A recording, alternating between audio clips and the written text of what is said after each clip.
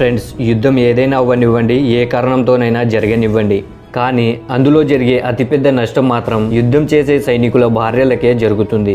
ఈ ప్రకారంగానే ధర్మం మరియు అధర్మం కారణంగా జరిగినటువంటి మహాభారత యుద్ధంలో లక్షల మంది సైనికులు పాల్గొన్నారు. అయితే ఈ మహాసంగ్రామంలో చాలా కొద్ది మంది వీరులు మాత్రమే ప్రాణాలతో మిగిలారు. మిగిలిన వారంతా తమ ప్రాణాలను అర్పించి వీరమృత్యువును పొందారు. అయితే మీలో ఎవరైనా మహాభారత యుద్ధం ముగిచాక ఈ మహాసంగ్రామంలో వీరమరణం పొందిన సైనికుల భార్యలు ఏమయ్యారు? వాళ్ళ పరిస్థితి ఏంటి? అనే విషయాన్ని ఎప్పుడైనా ఆలోచించారా? అయితే మనం ఈ వీడియోలో మహాభారత యుద్ధం ముగిశాక అందులో వీరమృత్యువును పొందిన సైనికుల భార్యల పరిస్థితి ఏమైంది? అనే విషయాన్ని తెలుసుకుందాం. సో వీడియోను లాస్ట్ వరకు స్కిప్ చేయకుండా చూడండి. టాపిక్లోకి వెళ్ళే ముందు నాదొక చిన్న రిక్వెస్ట్. మీలో ఎవరైనా మా ఛానల్ని ఇప్పటిదాకా సబ్స్క్రైబ్ చేయకపోతే ఇప్పుడే సబ్స్క్రైబ్ చేసుకోండి. మరియు పక్కనే ఉన్నటువంటి గంట సింబల్ని కూడా యాక్టివేట్ చేసుకోండి. దాంతో మా వీడియోస్ అన్ని మిస్ కాకుండా మీరే ఫస్ట్ చూడవచ్చు. ఇప్పుడు నేను చెప్పబోతున్న కథ మహాభారత సంగ్రామం ముగిసిన పదిహేను సంవత్సరాల తరువాతది. ఆ సమయంలో పాండవుల తల్లి అయినటువంటి దేవి కుంతి ధృతరాష్ట్రుడు మరియు గాంధారి తదితరులు అందరూ సన్యాసం పుచ్చుకొని ఆశ్రమాలలో వారి జీవనాన్ని గడుపుతున్నారు. అప్పుడే ఒక రోజు సహాదేవుని మనసులో కుంతిదేవి దర్శనం చేసుకోవాలని కోరిక కలిగింది. దాంతో పంచపాండవులందరూ వనానికి వెళ్ళేందుకు అన్ని ఏర్పాట్లు చేసుకున్నారు. ఇక పంచపాండవులు మరియు రాజా యుధుష్ణుడు హస్తినాపురం ప్రజలందరితో కలిసి వనానికి పయనం మొదలుపెట్టారు. వీళ్ళలో మహాభారత సంగ్రామంలో వీరమృత్యును పొందిన సైనికుల భార్యలు కూడా ఉన్నారు.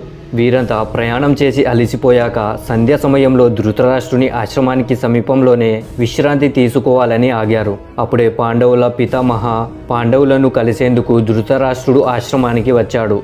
అయితే పాండవుల శోక సముద్రాన్ని చూసి తన తక్కువ బలంతో యుద్ధంలో మరణించిన వారి ఆత్మీయుల బాధను తీర్చాలని ఒకరోజు సాయంత్రం సూర్యాస్తమయ సమయంలో విధవరాలిగా ఉన్నటువంటి సైనికుల భార్యలను తీసుకొని గంగానది తీరాన తీసుకువెళ్ళి వేదవ్యాసుడు తన పోషశక్తితో మహాభారత యుద్ధంలో వీరగతి పొందిన సైనికులను మరియు వీరులను గంగానది నీటితో మళ్ళీ పునర్జీవుని చేస్తాడు. అప్పుడు అందరూ ఆ శోక సముద్రం నుండి బయటకు వచ్చి వారి వారి కొడుకులను వారి భర్తలను చూసి ఆనందించి వారి మంచి చెడులను తెలుసుకుంటారు. అయితే ఇక సైనికులు వెళ్ళే సమయం ఆసన్నమవుతుంది. దాంతో ఆ సైనికులందరూ ఒక్కొక్కరిగా వెళ్ళి ఆ గంగా నదిలోకి మునిగి మాయమైపోతారు. అప్పుడు వేదవ్యాస మహర్షి మహాభారత సంగ్రామంలో వీరమరణాన్ని పొందిన సైనికుల భార్యలకు తల్లులకు చెల్లెలకు ఇలా అంటాడు. మీలో ఎవరైతే మీ వాళ్ళను వదిలి ఉండలేకపోతున్నారో మీ జీవనం వారు లేకుండా గడవదని భావిస్తున్నారు వారు కూడా గంగా నదిలోకి వెళ్ళండి. దాంతో మీరు మీ భర్తలు లేదా కుమారులు ఉన్నటువంటి లోకంలోకి వెళ్ళి